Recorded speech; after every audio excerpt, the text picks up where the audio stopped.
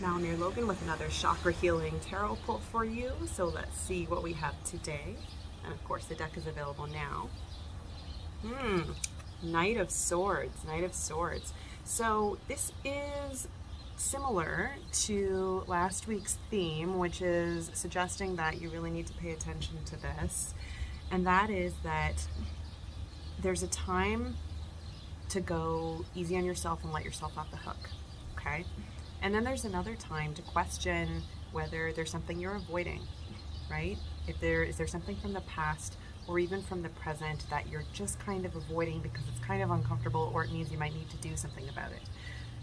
The thing is that it's not actually part of who you are to avoid this thing, whatever it is in your life. It's not actually who you are. So get back in touch with who you are and you'll see that it's actually not so scary. Blessings to you.